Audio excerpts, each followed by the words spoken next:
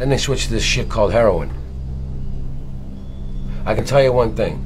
It's the deadliest fucking epidemic that we've ever faced in my lifetime. Five million dollars a month. There's a lot of money. And you don't want no part of this.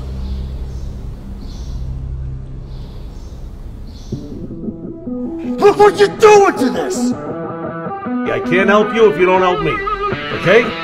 Stay off the shit. If you're not back here by 8 o'clock, I'm gonna come looking for you, and shit's gonna pay. Alright? I don't trust him. I don't trust the situation we just got ourselves into. I get a bad feeling about him. I don't need these. This is gonna be too much fun.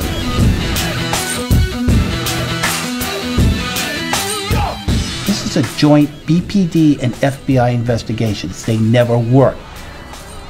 Where else over here? There's four guys in there. There's no reasoning with them. So you guys gotta go do your thing. Had a meeting with Carlo. We gotta do some work with the Russians. The Russians? Why the fuck do we want to get involved with the Russians, Matt? Those guys have been nothing but bad news. Here's the folder on Connor. I don't trust this guy. I don't know if he's a dirty cop. He's got something he's hiding. He's up to something. You always us one. Let me ask you a question. How's the Lonoka brothers doing? Oh, those two are animals.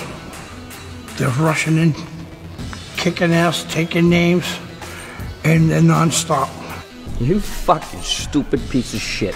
When the Lonoco brothers get here, you know what they're gonna do to you? I mean, what, give me the fucking kid's name. I'm doing this for my kid.